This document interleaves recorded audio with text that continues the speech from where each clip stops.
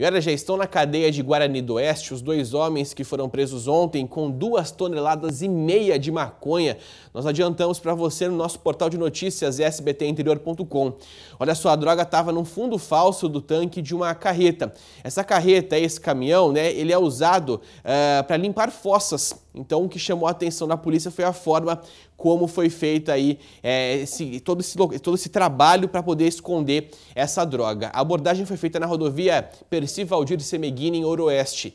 Pai e filho estavam no veículo e foram presos em flagrante e levados para a Polícia Federal de Jales. Lá eles confessaram que receberiam 4 mil reais para entregar os 3 mil tabletes da droga em Iturama, Minas Gerais. A droga deve ser incinerada em breve.